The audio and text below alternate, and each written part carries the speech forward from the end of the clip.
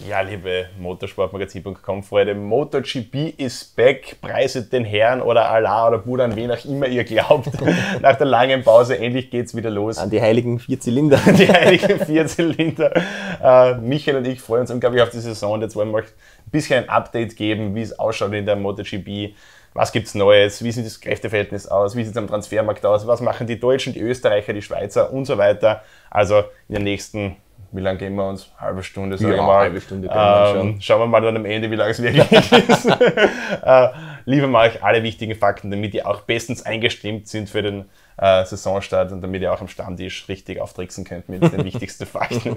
Ähm, fangen wir vielleicht an. Vor, ne, wie lange ist es jetzt aus? Hm, fünf Monate ungefähr waren die letzten Testfahrten. Äh, da sind wir drauf an, davon ausgegangen, dass so in zwei Wochen die Saison losgeht und wir haben dann WM-Tipps abgegeben. Und äh, du hast damals gesagt, äh, Marc Marquez ist dein Favorit. Ich habe hab ich weit hinausgelegt. Ich war eine extrem mutige Entscheidung von dir, muss ich sagen. Ja, also ich bewundere dein, deinen Mut in dieser Situation. Ich habe gesagt, Mary Vinales. Ähm, fangen wir doch mal an. Hat sich an deiner Einstellung ähm, bezüglich dem WM-Favoriten was geändert in dieser Zeit? Nein, ganz im Gegenteil, denn man darf ja nicht vergessen, Marc Marquez wäre ja nicht ganz fit in die Saison gestartet. Der hatte ja während der Testzeiten eigentlich noch immer körperliche äh, Probleme. Jetzt sieht es aber anders aus. Marquez ist mit Sicherheit ganz fit, weil der hatte jede Menge Zeit, äh, da sich wieder körperlich fit zu machen. Allerdings der mehrfache Vize-Weltmeister der letzten Jahre, Andrea Dovizioso, Schlüsselbeinbruch beim Motocross-Training Ende Juni, hat zwar noch ein paar Wochen Zeit bis zum Saisonstart. Schlüsselbeinbruch ist jetzt nicht die schlimmste Verletzung, also ist eigentlich eine Standardverletzung. Wir erinnern uns da an Piloten, die zwei Tage nach einem Schlüsselbeinbruch noch Rennen gefahren sind. Also der wird auf jeden Fall nicht alles am Start stehen, aber natürlich hat das diese Intensivvorbereitung der letzten paar Wochen auf den Saisonstart definitiv ähm, in Mitleidenschaft gezogen. Das ist klar. Also dieses Level, das jetzt vielleicht Dovizioso Marquez so zu, zum ursprünglichen Saisonstart gewesen wäre, ist jetzt wahrscheinlich genau unter anderen Vorzeichen und damit hat sich, was diesen ähm, WM-Titelanwärter Nummer 1 betrifft, für mich nichts geändert. Für dich? Bleibst du bei Vinales oder ruderst du da zurück? Nein, ich bleibe bei Vinales, weil ich bin ja mutig im Gegensatz zu dir, aber um zurückzukommen auf die Situation. Äh, ich wette, um zu gewinnen, um Mut zu beweisen. Für einen Kasten Bier macht dieser Mann fast alles. ähm, aber um zurückzukommen auf die Situation, Marquez Dovizioso, ich glaube, was man auch nicht vergessen darf, ist ja immer ähm, so eine Frage auch, wie startet man die Saison jetzt nicht unbedingt von den Punkten her, aber quasi, was, was nimmt man daraus mit, wie geht man daraus hervor, gestärkt, geschwächt. Und für Andrea Dovizioso hat die Saison im Normalfall immer in Katar sehr gut begonnen. Die letzten Jahre eigentlich immer mit einem Sieg. Jetzt kommt Jerez, eine Strecke, die er überhaupt nicht mag. Also ich glaube, vielleicht für ihn sogar die schlechteste Strecke im, im Grand Prix-Kalender, die auch der Ducati nicht zu hundertprozentig mhm. liegt. Und dann ist noch die Verletzung und das dann gleich zweimal innerhalb von, von zwei Wochenenden, also back-to-back. -back. Also schlimmerer Saisonstart kann für Andrea Dovizioso jetzt eigentlich kaum, äh, kaum passieren. Marc Marquez wissen wir ist traditionell stark in Jerez, wie du gesagt hast, der ist jetzt gut ausgeruht. Also ja, wird schwierig für, für Andrea Dovizioso da jetzt mal einen Stich zu setzen gegen Marc Marquez. Und ja, realistisch betrachtet muss ich auch sagen, natürlich ist Marc Marquez jetzt der große Favorit. Ähm, der ist topfit jetzt. Aber ich denke schon, dass ähm, gerade auch Yamaha eine Rolle spielen kann mit Vinales und Quattararo, denke ich. Ähm, die waren in den Mietertests super mhm. stark. Ähm, daran hat sich jetzt nichts geändert. es ist wenig passiert die letzten, die letzten Monate. Ähm, ich hatte ja vor, wann war denn das? Anfang Mai hatte ich die Möglichkeit, äh, ein Videointerview mit Mary Vinales zu führen, knapp eine halbe Stunde, könnt ihr noch anschauen am YouTube-Kanal. Ähm, war sehr interessant und was mir aufgefallen ist, Mary Vinales hat viel relaxter gewirkt, als es in den vergangenen Jahren eigentlich, kann man sagen, oft der Fall war. In seiner Yamaha-Zeit, er war immer so ein bisschen himmelhoch jauchzend zu Tode betrübt, aber dieses Mal war es einfach so ein ehrliches, lockeres Gespräch, wo ich das Gefühl hatte, okay, dieser Mann ist wirklich mental auch so gereift, dass glaube ich, wirklich konstant mhm. ähm, gute Resultate richtig gute Resultate abliefern kann. Wie siehst du Melvin Vinales in dieser Saison? Ja, also ich habe damals ja, als wir da gewettet haben, glaube ich auch gesagt, ich glaube nicht mal, dass Vinales bei Yamaha die Nummer 1 sein wird, weil Catararo die Nummer 1 Auch da ging es um einen Kasten sein wird. ähm, da muss ich mittlerweile ein bisschen, glaube ich, zurückrudern, weil diese Vorzeichen der Saison jetzt einfach komplett andere sind. Es ist jetzt nicht mehr dieser gemütliche Rhythmus, ja, alle zwei Wochen ein Rennen, dann vielleicht mal ein Doubleheader, sondern Das sind äh, jetzt knallharte Tripleheader. Jetzt gibt es innerhalb von 18 Rennwochen, fahren die Burschen 13 Mal. In den vergangenen Jahren gab es nie mehr als 10 Rennen über einen Zeitraum von 18 ähm, Wochenenden.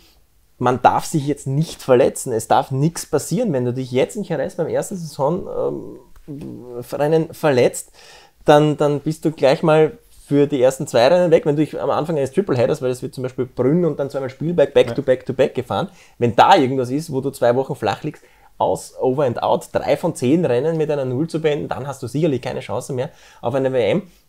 Und ich glaube, da ist jetzt Routine in dieser Saison einfach noch wichtiger. Man muss genau wissen, wo das Limit ist und, und wie weit man dran, man darf jetzt noch weniger als sonst darüber, über dieses Limit hinausgehen. Da sehe ich vielleicht auch ein bisschen die Chance für die Gegner von Marquez, denn mit die Honda ist schon ein relativ zickiges Biest gewesen bei den Testfahrten. Und die ist ja schon so homologiert. Vielleicht haben sie zwischen Katar-Test und dem Homologationsprozess in, äh, für Katar noch ein bisschen was gefunden. Aber grundsätzlich ist das schon ein relativ zickiges Biest. Und da könnte ich mir vorstellen, dass da vielleicht Marquez äh, ein bisschen über das Ziel hinausschießen könnte, wenn er tatsächlich von Beginn an Druck bekommt und vor allem Druck von eigentlich geht es darum, dass es ein Herausforderer, dass ein Herausforderer sich herauskristallisiert. Das Problem der letzten Jahre war oftmals, dass in einzelnen Rennen mal, da, da ist der Kollege mal mit dabei, da ist der andere Kollege mal mit dabei, aber dass wirklich einer konstant ums Podest fährt, das war Dovizioso manchmal, aber auch da waren siebte, sechste Plätze dabei, während Marquez einfach immer um das Podest kämpft und das spricht natürlich, spreche natürlich wieder für ihn, denn von den 13 Rennen muss man jetzt nicht 10 gewinnen, um Weltmeister zu werden. Du hast das Wort Routine angesprochen. Fällt dir da bestimmter Name dazu ein? Es gibt da eine, es gibt da eine, eine gelbe 46. Nein, also, dann, also Rossis Chancen, glaube ich, sehe ich schon besser, weil erstens einmal, er weiß, dass er bei Yamaha raus ist, also zumindest aus dem Werksteam raus ist. Seinen Platz übernimmt nächstes Jahr Fabio Quartararo, das ist schon, steht schon lange fest. Das heißt, er weiß ganz genau, okay, das ist jetzt mein, mein letzter Shot.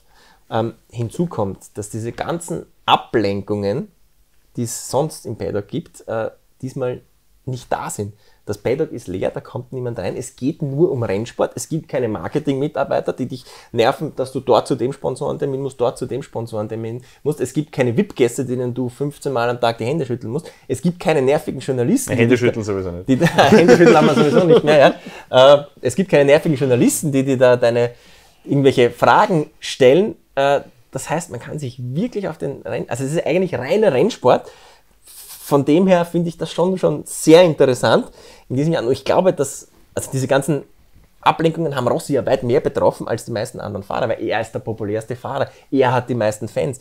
Er schreibt auch immer die Autogramme. Also das ist ja nicht so, dass wenn diese Traube da hinten steht, er irgendwie gleich durchzieht, sondern der schreibt auch da 10, 15 Minuten seine Autogramme.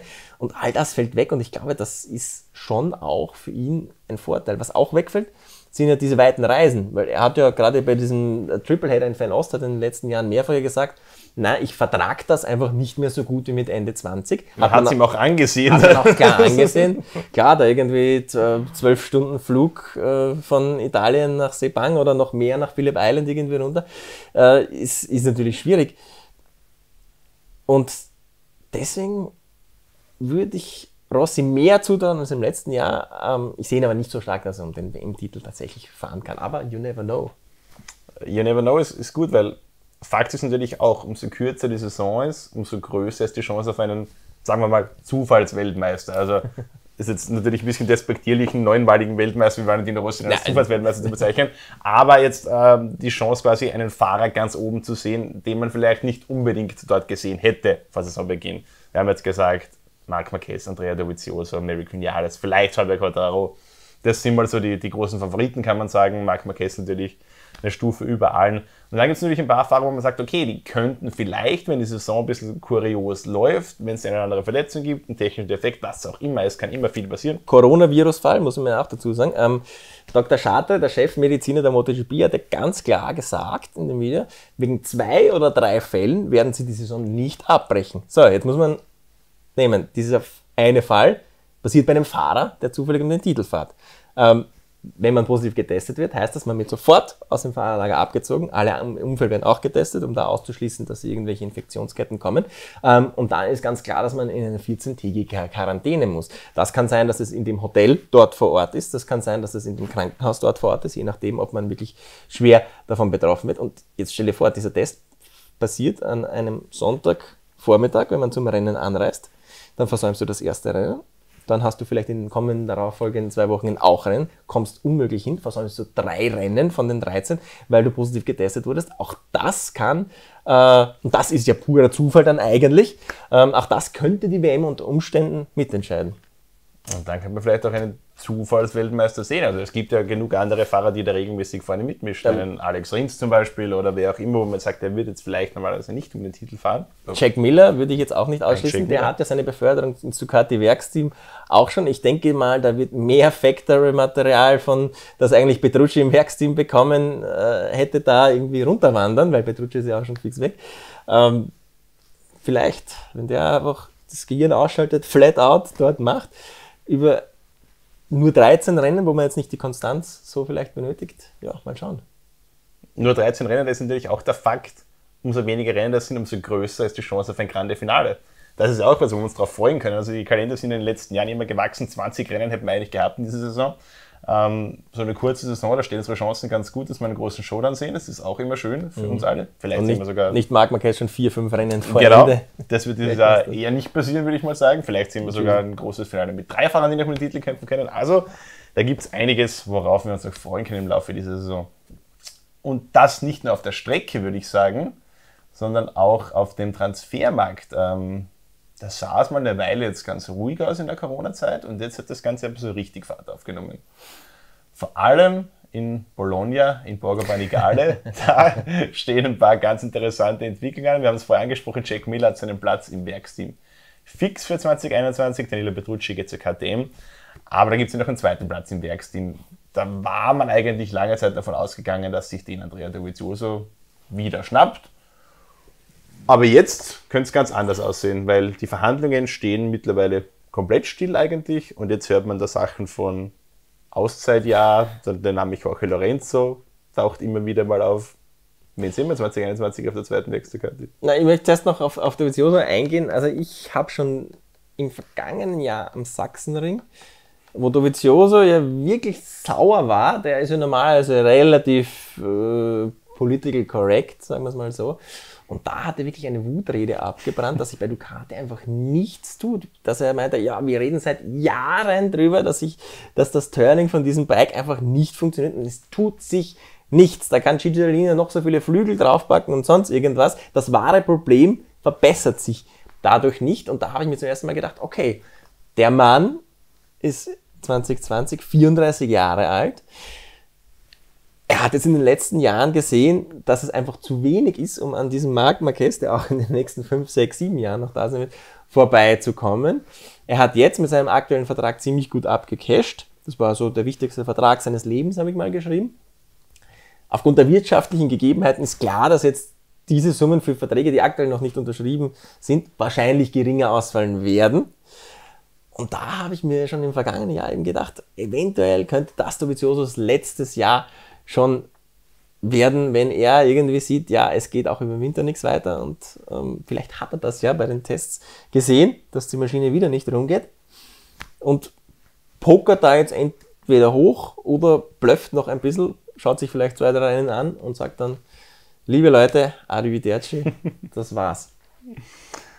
Aber was macht Andrea Dovizioso dann? Karriereende? Ähm, Auszeit halte ich für ausgeschlossen, weil wenn du im Alter von 34 Jahren dich ein Jahr abmeldest. Also ich halte die Auszeit nicht für ausgeschlossen, aber ein Comeback nach der ja, Auszeit ja. ausgeschlossen. Eine Auszeit auf 40 Jahre natürlich. Es ist so wie bei, ich glaube, Nigel Mansell, ist bis heute nicht zurückgetreten, also er hat immer nur eine Auszeit genommen eigentlich. Äh, ja, also äh, das kann ich mir beim besten Willen nicht vorstellen, dass dann mit 35 noch irgendjemand ähm, den dann holt, denn dann sind die Young Guns äh, schon einfach drüber. Ähm, wer das zweite Ducati, wer die zweite Ducati bekommt, das ist natürlich eine, sehr, sehr spannende Frage. Also ja, ja. Lorenzo würde ich persönlich cool finden, denn gegen Ende hat dieses Konstrukt aus Ducati und Jorge Lorenzo ja super gepasst. Das Problem war nur, dass nach diesem Mugello-Sieg, als äh, die Ducati dann zu ihm hinkamen und gesagt haben, ja, passt, jetzt können wir einen neuen Vertrag reden, er gesagt hat, du, Leute, ich habe schon bei Honda unterschrieben. Talk to the hands. genau.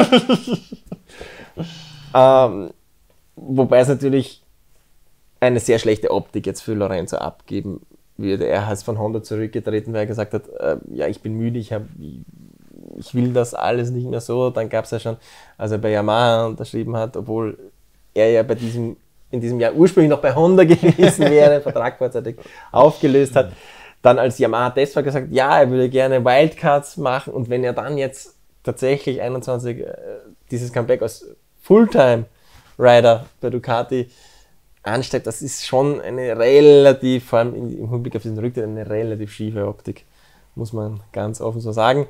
Ähm, ansonsten haben ja schon einige Leute natürlich auch äh, ihre Avancen angemeldet auf, dieses, auf diese zweite Ducati. Allen voran natürlich Francesco Bagnaia, Millers Teamkollege, der mit Miller gemeinsam gerne aufsteigen würde.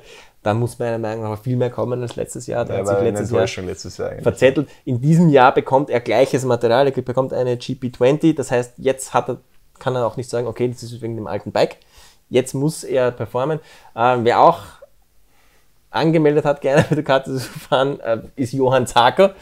Der probiert es nochmal, hat sich natürlich äh, im vergangenen Jahr durch sein Verhalten als Factory Rider eigentlich ähm, als unverpflichtbar für ein Werksteam herausgestellt. Also wer, der ist eher der Einzelkämpfer in kleinen Teams, die auf ihn fokussiert sind oder wo er sich sehr wohlfühlt so tatsächlich das Zeug zum Factory Rider, jetzt nicht vom Fahrerischen oder so, aber, aber von dieser ganzen Entwicklungsschiene, vom Umgang mit den Ingenieuren, ja. da sind ja hundertköpfige Entwicklungsteams dahinter, die du hinter dir haben musst, sehe ich schwierig. Oder sehe ich das falsch? Sehe ich das zu negativ? Nein, ich glaube schon, dass äh, kein großer Motorradhersteller der Welt sein Motorrad gerne im Live-TV mit äh, Fäkalien vergleichen lässt von seinem teuersten Angestellten, so wie er es ja. bei KTM gemacht hat. Also wir wollen die Worte jetzt hier nicht wiedergeben, um nicht den YouTube-Algorithmus da zu verärgern.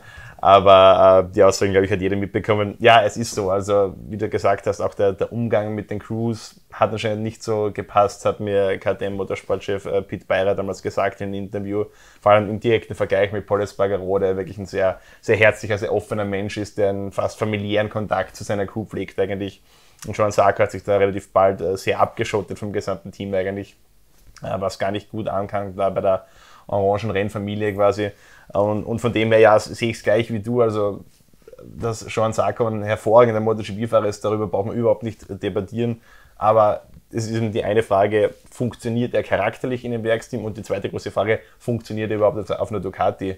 Er hat jetzt, glaube ich, sechs Testtage gehabt, die drei Tage in Sepang, die drei Tage in Katar, weil die November-Tests hat er noch verpasst, weil da gab es ja noch das ganze Thema zu klären mit Karel Abraham, der irgendwie noch nicht so ganz informiert wurde darüber, dass er eigentlich 2020 nicht mehr MotoGP fährt. Von dem ja. nach, nach sechs Testtagen, was will man da jetzt groß sagen?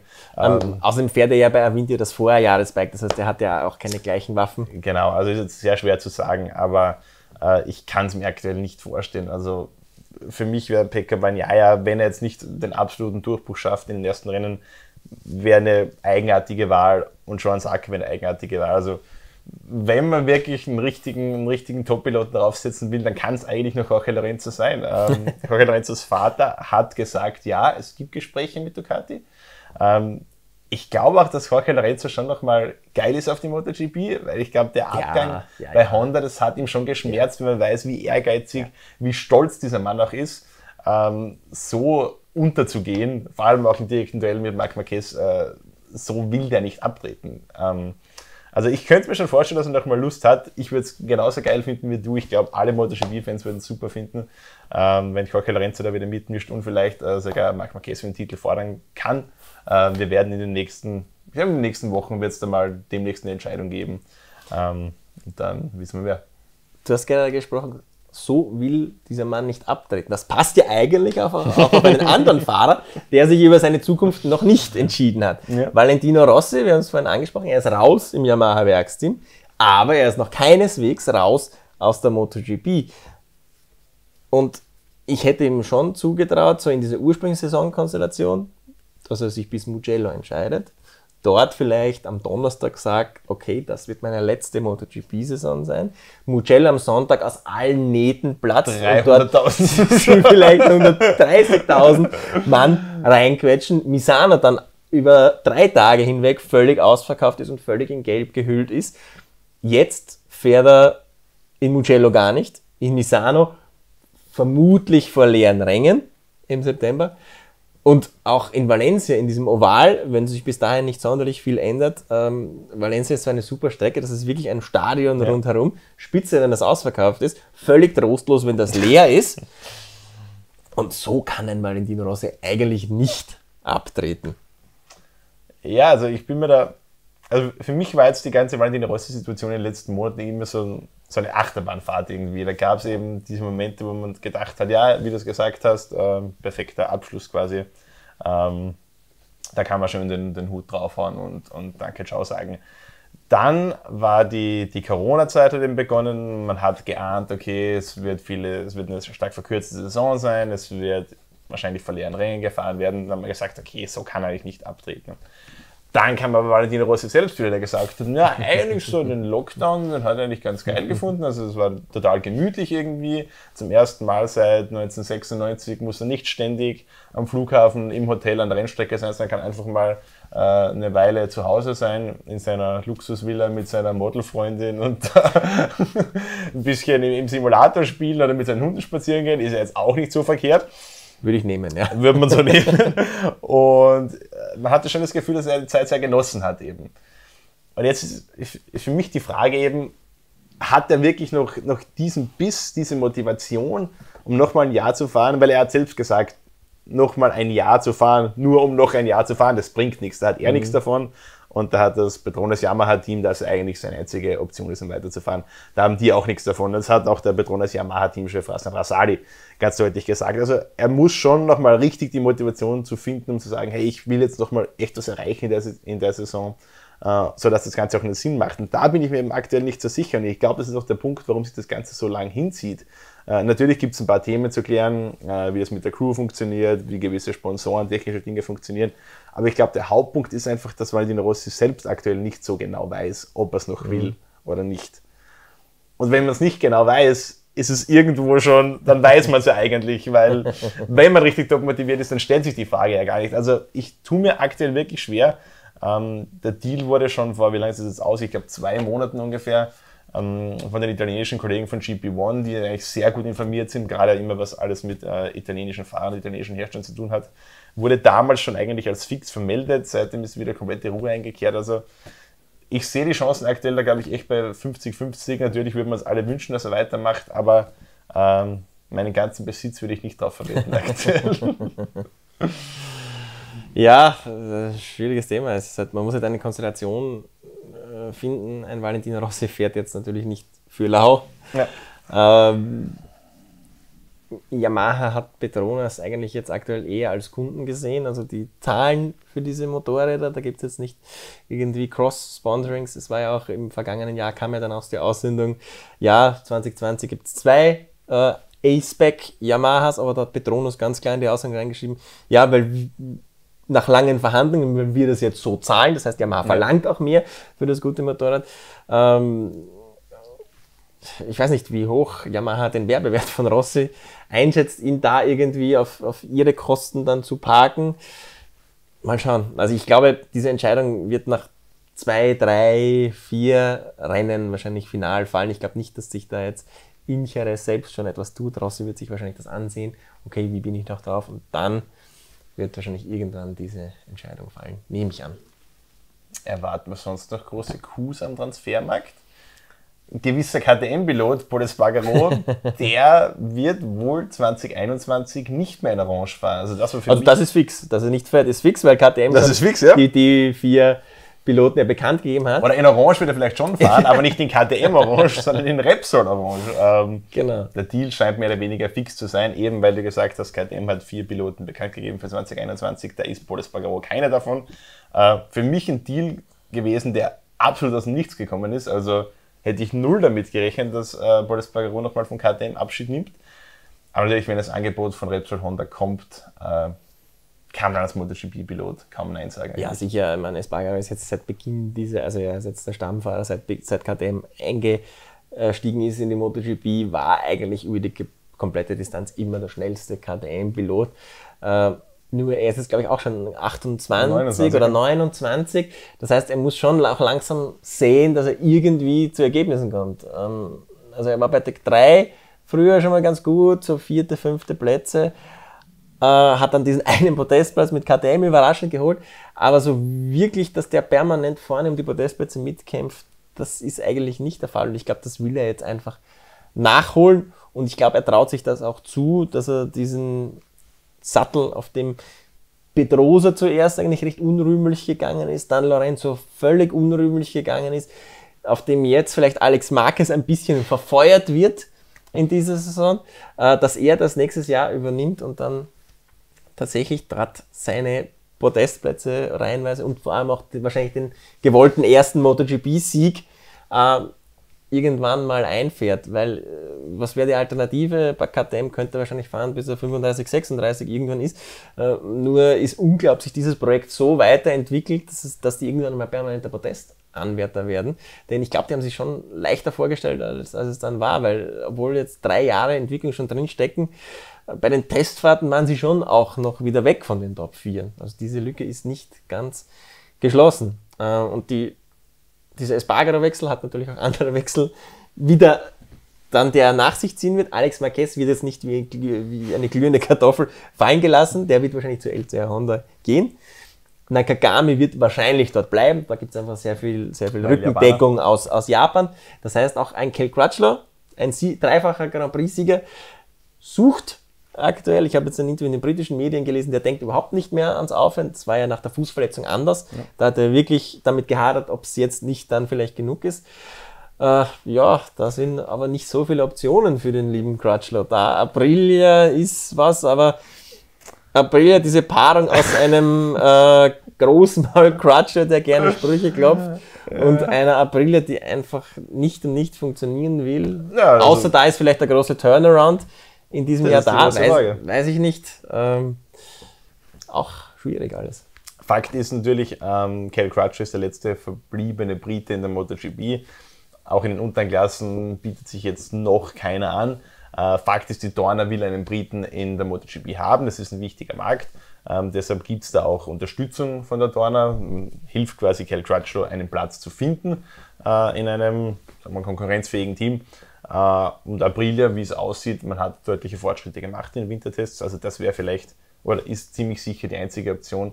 Da müssen wir auch noch abwarten, was in der ganzen Dopinghaus am Andrea None rauskommt. Äh, ob der nächstes Jahr überhaupt fahren darf, würde ich jetzt auch nicht drauf wetten. Also das wäre vielleicht eine Möglichkeit. Äh, Aleix Spargaro und Cal Crutcher, die Rennrad-Superstars der MotoGP, dann in einem Team bei Aprilia. Ich würde sagen, im Transfermarkt haben wir die wichtigen Deals abgehakt. Wir bleiben in der Fahrerlandschaft, wechseln aber in die kleineren Klassen, weil in der MotoGP haben wir leider keine Deutsche, Schweizer oder Österreicher mit dabei. Ähm, in den kleineren Klassen sehr wohl. Fangen wir vielleicht in der Moto 2 an. Ähm, beginnen wir mit den Deutschen, mit dem Deutschen leider. es ist nur noch es einer. Es ist nur noch einer in der gesamten Motorrad-WM 2020, Marcel Schröter. Was trauen wir ihm zu 2020? Ja, also er hat letztes Jahr bewiesen, ähm, dass er solide gut dabei sein kann und die Podestplätze kämpfen kann und Pole Positions kämpfen kann. Ähm, ich würde es nicht sehen, wieso er dieses Niveau verlieren sollte. Ähm, ich bin aber auch skeptisch, dass er sich tatsächlich so steigert, dass er wirklich um den Titel mitfahren kann. Denn er hat ein ähnliches Problem wie sein Teamkollege Tom Lütte, die sind schon relativ lange dabei ähm, sind auch immer wieder im Podestkampf dabei, kämpfen um Siege, aber es kommt dann doch immer wieder dieser eine junge Spanier, Italiener, das war schon ein Vinales, das war schon ein Rins, das war schon ein Polis Bagaro gegen Lütti, früher mal, ähm, der ihnen doch den Titel wieder wegschnappt. Ähm, und ich wüsste jetzt nicht, woher ein, noch die, diese letzte Steigerung von Schröter kommen sollte, dass er tatsächlich äh, um den Titel mitfährt. Also ich sehe in ihm auch nicht den kommenden MotoGP, äh, das kommende MotoGP-Aushängeschild Deutschlands. Ich denke, er ist in der Moto 2 ganz gut aufge, äh, aufgehalten, wird dort aufgehoben, so heißt es richtig. ähm, und hat dort noch viele gute Jahre vor sich, auch während Tom Lütte, dessen später MotoGP-Wechsel war ja letzten Endes, hat sich ja auch als äh, ein, ein, Fehler eigentlich herausgestellt. Er hat auch selber gesagt, ja, das war eigentlich nichts, das hat sich eigentlich überhaupt nicht ausgezahlt. Ähm, ja, und so wird es halt wahrscheinlich wie im Vorjahr laufen, sowohl bei Schröter ähm, als auch bei Lütte. Und dann gibt es ja noch den Schweizer Cesco Raffin, der auch immer wieder ganz gute Tendenzen Richtung Top 5 zumindest äh, hatte im, im letzten Jahr. Aber auch da sehe ich jetzt in ihm keinen, der um den Titel, glaube ich, mitkämpfen kann. Und dann war es das, ja. In der mittleren Klasse war es Auch schon wieder in der mittleren Klasse. Mehr gibt es dort nicht. Aber in der kleinen Klasse haben Kleine wir noch Klasse. zwei deutschsprachige Fahrer, einen Schweizer und einen Österreicher mit dabei. Äh, erster Österreicher seit langer Zeit. yeah. Endlich wieder mal einer am Start aus unserer Heimat, äh, Max Kofler. Äh, du hattest ja ein Interview mit ihm. Hat ein Interview gehabt mit ihm im das Februar, glaube ich. Also kurz vor dem vermeintlichen Saisonbeginn, wo er schon gesagt dass er sich sehr freut. Für die war es ja sogar. Für die war es der Saisonbeginn sogar. Ähm, Max kommt ja auch schon mit ein bisschen WM-Erfahrung in diese Saison ist ja schon zweimal seinen Heim Grand Prix in Spielberg gefahren äh, mit einer Wildcard und äh, auch in Großbritannien, in Silverstone im letzten Jahr äh, mit einer Wildcard am Start gewesen. Äh, ja, Max, was trauen wir ihm zu, erstes Jahr? Boah, es ist schwierig zu sagen. Das, ein, generelles Problem in der kleinsten Klasse für Fahrer aus unseren Gefilden ist, dass die einfach mit zu viel Hirn fahren. Muss man ganz ehrlich so sagen. Ähm, denn da sind einfach äh, den Ausdruck jetzt bitte entschuldigen, wahnsinnige 16-, 17-jährige Spanier Italiener, für die es um alles geht, die gewohnt sind mit den Ellbogen und Knien und was weiß ich was alles zu kämpfen. Und da werden leider Gottes ähm, unsere Leute meistens aufgefressen. Ähm, und Kofler ist ja auch in Spanien gefahren, war da jetzt auch nie ganz vorne dabei, deswegen sehe ich jetzt auch nicht, wieso er tatsächlich plötzlich vorne mitmischen sollte. Ähm, Jason Dubasquet gilt wahrscheinlich, der Schweizer gilt wahrscheinlich ähnliches. Ähm, die kleine Klasse wird auch weiterhin den Spaniern und Italienern gehören, denn auf, auf, das Reglement hat sich ja nicht so geändert, dass da jetzt irgendwie möglich wäre, Solo wegzuziehen. Wir werden weiter Rennen sehen, wo 18, 17, 16 Leute bis eine Runde vor Schluss innerhalb von zwei Sekunden sind und dann der gewinnt, der irgendwie jetzt entweder manchmal das meiste Glück hat oder einfach die, die dicksten Eier hat und ja. dann reinhält ganz schwierige Situation auch. Äh, ich habe damals mit Max Kofler in, in dem Interview darüber gesprochen, ähm, mit welchen Erwartungen oder mit welchem Anspruch er quasi in diese erste volle WM-Saison geht. Und er hat gesagt, na, er möchte mal die ersten paar Rennen äh, quasi ein bisschen Erfahrung sammeln, erstmal ruhig angehen und dann eben schauen, dass er abliefert, weil man muss ja dann auch nach einigen Rennen eben gleich mal abliefern, um den Platz zu sichern für nächstes Jahr. Mhm. So, jetzt haben wir eben schon Hochsommer, mhm. es ist Mitte Juli, die Saison geht erst los. Äh, die Zeit wird es jetzt in dem Fall nicht mehr geben, um mal ein bisschen Erfahrung zu sammeln, um ein bisschen reinkommen zu gehen. Also er wird vom ersten Rennen wahrscheinlich voll riskieren müssen, äh, um diesen Platz auch zu halten im Team. Also so gesehen auch für ihn und für alle anderen Rookies äh, eine ganz schwierige Situation, weil die, die paar Rennen Lehrzeit, die eh schon kurz sind, die gibt es in dieser Saison gar nicht. Also mhm. von dem her sicher keine leichten Voraussetzungen für die Rookies, aber wir drücken unseren Jungs aus Deutschland, Österreich, der Schweiz Auf natürlich die Daumen und wünschen ihnen das Beste. Und jetzt haben wir, wir zwei ein bisschen drüber geredet, aber jetzt ähm, wollen wir mal mit einem Mann sprechen, der viel Ahnung hat von Motorradfahren, viel Ahnung hat auch von jungen Motorradfahrern, die am Weg nach oben sind, äh, der da zum Beispiel schon mit den Önschi-Brüdern gearbeitet hat. Und zwar ist unser Riding Coach Horst Gref. Horst, wie siehst du die Deutscher, die Schweizer und die Schweizer und die Österreicher in dieser Moto 2 und Moto 3 Saison 2020? Hallo lieber Michael, hallo lieber Markus, hallo liebe Motorsportmagazin.com Zuschauer. Ähm, ja, die deutschsprachigen äh, MotoGP bzw. Moto3, Moto2 Fahrer. Was können wir denn von Ihnen erwarten im, äh, in dieser kurzen Saison 2020? Ich habe mir ein paar Notizen gemacht zu den ähm, Jungs, die in diesem Jahr ähm, als Deutschsprachige antreten werden. Da ist in der Moto3 der Maximilian Kofler ähm, aus Österreich, der ist äh, 19 Jahre alt. Ähm, der hat schon einiges an internationaler Erfahrung. Also ich denke, das wird jetzt nicht viel, ähm, zumindest im Ablauf her, nicht viel Neues für ihn sein. Der fährt im äh, Chip-Moto-Team aus Frankreich. Ähm, ich hoffe, dass er da sprachlich klarkommt mit den Jungs. Das wird für ihn sicher ein lehrreiches Jahr werden. Ähm, er wird aber sicher auch von Darren Binder, seinem Teamkollegen, lernen können. Äh, speziell in Sachen Aggressivität wird er ihm sicher das ein oder andere beibringen können. Dann haben wir äh, auch als Neuzugang den Jason Dupasquier aus der Schweiz. Ähm, viel, vielversprechender junger Mann, ist äh, 18 Jahre alt, äh, ist im Red Bull Rookies Cup gefahren letztes Jahr. Übrigens zusammen mit seinem Teamkollegen Barry Baltus, der auch im Red Bull Rookies Cup groß geworden ist. Also die sind beide jetzt in die Moto 3 WM aufgestiegen, fahren bei äh, Brüssel GP. Und äh, beide haben sicher mit Florian Brüstel einen äh, sehr, sehr guten Teamchef gefunden. Für den Jason Typers Case ist das natürlich prima, weil der auch deutschsprachig ist. Also ich denke, das sollte ganz gut funktionieren. Ich bin gespannt, was die beiden Jungs machen. So arg viel kann man über sie noch nicht sagen, weil sie eben auf, dem, auf der Moto 3 WM-Bühne noch nicht aufgetreten sind, beziehungsweise noch nicht in Erscheinung getreten sind. Der, der Maxi Kofler hatte zwar ein paar Gastauftritte, aber eine ganze Saison hat er noch nicht durchgefahren. Ähm, ich bin sehr gespannt. Mein Tipp an die beiden ist ähm, Ellbogen ausfahren und nicht zucken. okay, Moto 2.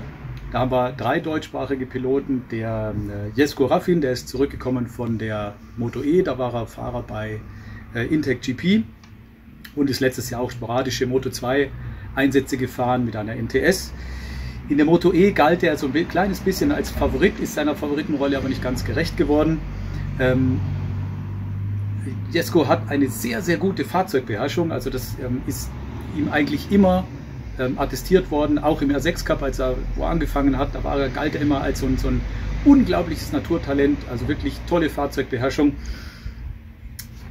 Leider ist er manchmal etwas unkonzentriert. Ich hoffe, dass er sein Mindset zusammenkriegt, weil wenn er das tut, dann glaube ich, kann er ganz starke Ergebnisse zeigen. Ja, dann kommt äh, Marcel Schröter im Team Intec GP. Fahrerisch, glaube ich, sicher einer der besten Jungs in der Moto 2. Also wirklich toller Fahrstil. Also der kann das wirklich sehr gut. Leider zweifelt er hin und wieder an sich. Ähm, ich glaube, wenn er sein Selbstvertrauen zurückfindet und dem Motorrad sagt, wo es langgehen soll und nicht andersrum. Also wenn er dem Motorrad sagt, wo es langgehen soll, dann wird er richtig gut. Dann schafft er das auch über die Saison hinweg, Top-Resultate zu zeigen und endlich mal ja, seinen Durchbruch zu zeigen. Äh, dann haben wir noch Tom Lütti. Ähm, ich denke, der ist wirklich jedermann bekannt. 2005 äh, Weltmeister in der 125er Klasse. Ähm, einer der komplettesten Moto2-Fahrer mit MotoGP-Erfahrung. Also dem macht so leicht keiner was vor. Ich bin sicher, dass das einer der Top-Favoriten sein wird für den Titel 2020, sicher auch 2021, wenn er sich nicht verletzt.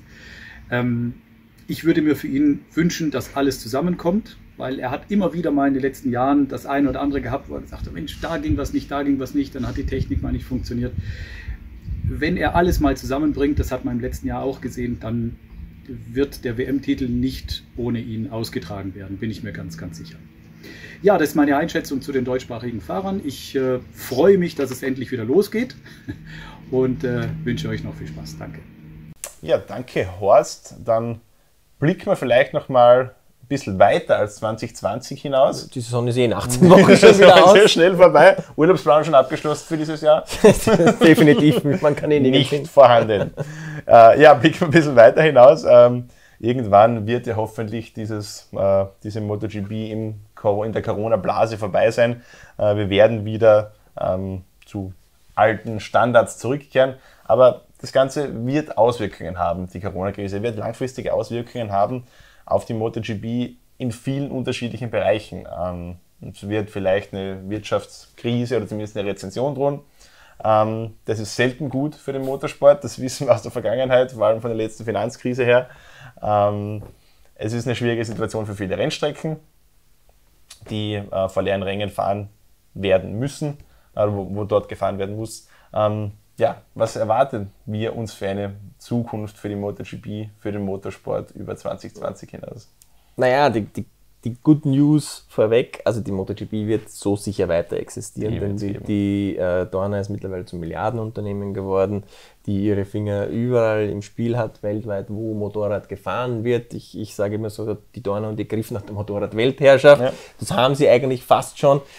Ähm, und die MotoGP ist das wichtigste Produkt, die, die wird auf jeden Fall überleben und mit ihr auch mit die Moto 2 und Moto 3, die so quasi dieses, diese Talente-Pool ja. immer ist, der immer irgendwie dabei sein wird. Ähm, ich gehe aber schon davon aus, dass sich das Gesicht im Paddock verändern wird. Es werden sicher nicht alle Teams überleben können aufgrund der wirtschaftlichen Situation. Ich will es nicht ausschließen, dass sich mittelfristig auch äh, her einzelne Hersteller zurückziehen. Ich glaube nicht, dass es ein Exodus wird wie nach dieser Finanzkrise. Ähm, aber ich, ich glaube sehr wohl, dass das so in zwei, drei Jahren äh, dass diese Nachwirkungen der Corona-Krise auch als Vorwand gebracht werden könnten, damit erfolglose Hersteller dann sagen, oh, leider, es geht sich wirtschaftlich nicht mehr aus. Und das in Wahrheit heißt, wir haben sportlich ja eh nichts erreicht, also gehen wir jetzt. Mm. Und wie gesagt, es werden sich sicher äh, die Teams verändern, denn da standen ja davor schon einige auf tönenden Füßen, muss man so sagen. Und wenn jetzt bei den Sponsoren da das Geld plötzlich nicht mehr so locker sitzt oder wenn auch die, man muss ja auch ganz ehrlich sagen, ein, ein Großteil der jungen Fahrer bringt ja auch Geld mit. Ähm, wenn auch da das Geld nicht mehr so locker sitzt, gerade Spanien und Italien, wird es ja wirtschaftlich wahrscheinlich doch um einiges schlimmer treffen, weil diese einfach viel abhängiger vom Tourismus sind und der wird in diese Saison deutlich einbrechen. Mal schauen, wie es nächste Saison wird. Es kann sein, dass sich das alles erst schleppend erholt und damit trifft es natürlich genau diese beiden MotoGP-Kernländer finanziell. Und dort sind eben der Großteil der Moto 2 und Moto 3 Teams angesiedelt. Genau so ist es. Ähm, das ist Fakt und natürlich, klar ist auch das Geschäftsmodell dieser kleinen Privatteams. Kohle gibt es dann, wenn Rennen gefahren werden. Ja. Wenn der Sponsor am Fernseher zu sehen ist, auf der Webseite oder hier im Printmagazin, genau. dann gibt es Kohle und sonst gibt es gar nichts. Genau. Äh, da ist kein, kein großer Hersteller dahinter wie KTM, Honda, Yamaha oder sowas, der da quasi Kohle zuschießen kann und ein oder anderen Löcher stopfen kann. Da ist nichts da außer dem Rennteam. Äh, von dem her äh, ganz schwierige Situation jetzt natürlich. Die mussten auch jetzt schwere Monate übertauchen. Jetzt geht es Gott sei Dank endlich wieder los. Die Dorn hat ja auch geholfen. Nur das ist jetzt äh, durch finanzielle Zuwendung. Nur das ist jetzt kein Dauerzustand. Die werden jetzt nicht drei Jahre lang ihre Teams ähm, am Leben erhalten. Vor allem dann nicht. Also zum Beispiel in der Moto 2 äh, hat es ja so viele Bewerber angeblich letztes Jahr gegeben, dass sie dieses Feld zweimal füllen hätten können. Wenn da jetzt irgendein Team daherkommt bei der Anmeldung, die dann auch im September, Oktober wieder starten wird und, und keine ausreichende Finanzierung vorlegen kann. Und dann kommt vielleicht ein Team aus Südostasien, wo Geld da ist, weil da jetzt ähm, ein entsprechender Milliardär dahinter steht oder so, dann wird sehr wohl natürlich das ausgetauscht werden. Das wird auch spanische Teams treffen. Also da werden auch die Verschwörungstheorien, dass die Dorne in eine spanische Mafia ist, wahrscheinlich äh, wieder über den Haufen geworfen werden, denn es wird, wird auch spanische Teams dann definitiv erwischen, das glaube ich schon. Ähm, und das sind halt die Aussagen. Es wird halt alles ein, dadurch ein bisschen kleiner werden. Es werden auch exorbitante äh, Gehälter der, der, der, Vergangenheit angehören. Marc Marquez hatte Glück, der, der hat, noch, einen guten Deal der hat noch im Februar äh, einen richtig fetten Deal abgeschlossen. Man munkelt äh, für vier Jahre im Bereich von 100 Millionen Euro. Also um Marc müssen wir uns, glaube ich, in nächster Zeit keine finanziellen Sorgen machen. Eher nicht. Gratulation an dieser Stelle. Und diese, diese ganze Wirtschaftlichkeit geht ja dann auch bis zu den Streckenbetreibern runter. Ähm, es wird Katar nicht aus dem Kalender fallen, und in den Katar ist das relativ egal. Zuschauernamen hatten sie ohnehin noch nie.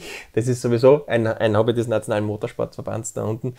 Ähm, es wird ein Assen weitergehen, äh, weil da die Bevölkerung dahinter steckt. Es wird ein Sepang weitergehen, weil da die Regierung und Petronas dahinter stehen. Aber es gibt natürlich schon einige Wackelkandidaten. Ähm, ein Brünn zum Beispiel hat schon mehrfach Probleme gehabt. Das ist eh seit 15 Jahren das, jährlich Wackelkandidat.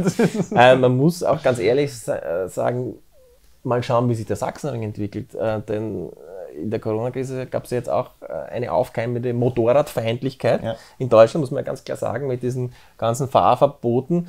Und auch der Sachsenring war in der Vergangenheit schon mehrfach auf der Kippe. Ja. Äh, was, wenn der ADAC jetzt Kosten einsparen muss irgendwo, weil ihm A, die Mitglieder wegbrechen oder sonst irgendwas passiert, dann muss man natürlich auch schauen, okay, setzt man nicht vielleicht doch als erstes beim Motorsport an ja. oder so.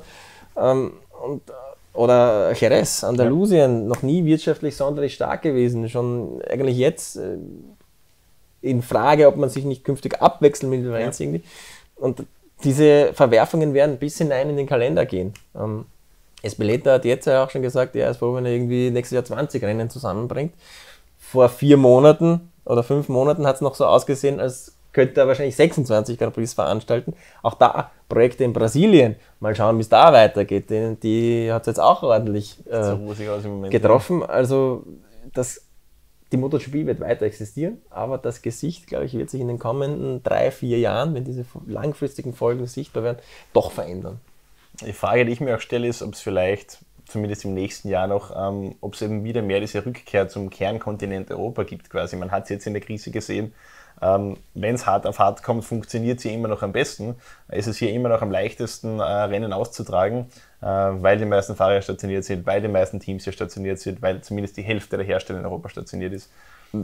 Weil auch, wenn es irgendwo die ersten Reisebeschränkungen aufgehoben wird, dann man sich in der EU meistens schneller einigt, als wenn sich einzelne Staaten mit einem US-Präsidenten einigen müssen oder, oder mit südostasiatischen Ländern. Da ist halt jetzt auch die Frage, normalerweise so im September ungefähr kriegen wir den ersten Kalender für das Folgejahr. Äh, wird in dem Fall jetzt nicht passieren, weil die Lage ist immer noch sehr äh, volatil, möchte ich mal sagen. Also äh, mal sieht es da gut aus, mal sieht es da schlecht aus. In ein paar Wochen kann sich das Ganze wieder drehen. Also ich denke, auf einen Kalender für 2021 müssen wir noch eine Weile warten.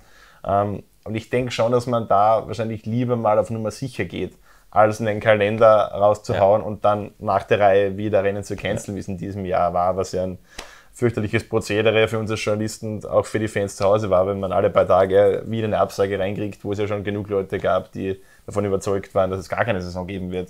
Äh, darum könnte ich mir schon vorstellen, dass wir vielleicht für 2021 mal einen kleineren Kalender äh, angekündigt bekommen, einen sehr europalastigen Kalender, vielleicht mit bisschen Asien äh, drinnen. Äh, Australien wissen wir auch, da schaut es aktuell auch wieder ganz schlecht aus. Äh, in Melbourne geht man wieder in den Lockdown. Ja, vor allem die Australier sind ja so das erste Volk, das ihre Grenzen zumacht, so wenn irgendwas irgendwo passiert. Also der Kalender könnte da auch äh, mal ganz anders aussehen. Was natürlich auch schlecht ist für gewisse Strecken, die aktuell gebaut werden und in den Kalender drängen. Ähm, es wären nicht die ersten Rennstrecken, die, die gebaut werden oder die geplant werden. Balaton Ring, Circuit of Wales, Palembang. Wir erinnern uns an einige.